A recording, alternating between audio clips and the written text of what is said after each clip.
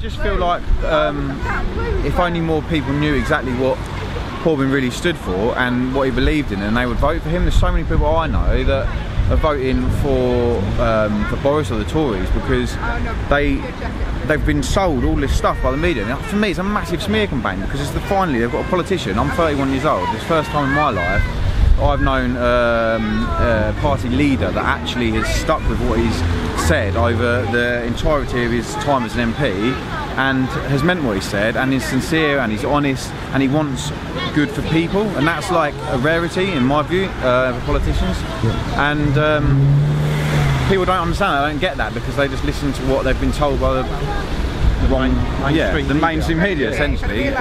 He is, Uh, he's a genuine, authentic. He's never changed his views in his whole time as a politician. No, no, and, and, and that's what makes him different from most politicians, in my opinion, because he doesn't care about saying what he's meant to say or what he thinks people want him to say. He says what he feels and what he means, and uh, what's in his heart, Yeah. which is what appeals to me, which is why I'm voting Labour, and which is why I've joined Labour because of Jeremy, really, because of Jeremy Corbyn. And that's what's sad that people don't get that. Do you know what I mean? And that they think the opposite. Oh, he's this and he's that because they've been told that, and they don't actually look into the facts of it. It's, it's really sad. And I think for me, Boris Johnson's the polar opposite, don't you? Yeah, complete polar opposite. You'll never be trusted. Can't trust him with anything. Really bad He- track record. He won't let anyone scrutinise any of his policies, which he Yeah. hasn't really got any policies. won't answer any questions, and he doesn't want what's good for the people, especially the working class people, the real people that we all know that are ironically voting for him, which is crazy. But um, what can you what can you do? We've just got to try our best to put his name out yeah, there. and- try and educate people. yeah, yeah, and ho- hopefully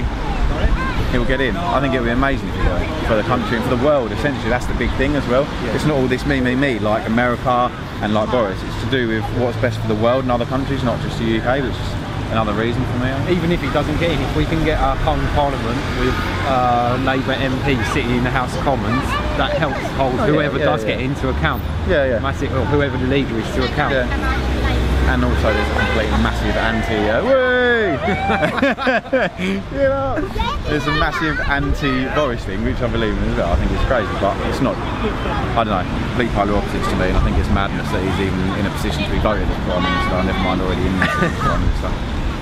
What can you do? Just can be rich and go to a private Yeah. school. All you can do is educate people. Yeah, And yeah. hope people change their minds and, and kind of wake up to, And see the to truth. reality. yeah, Yeah, yeah, yeah.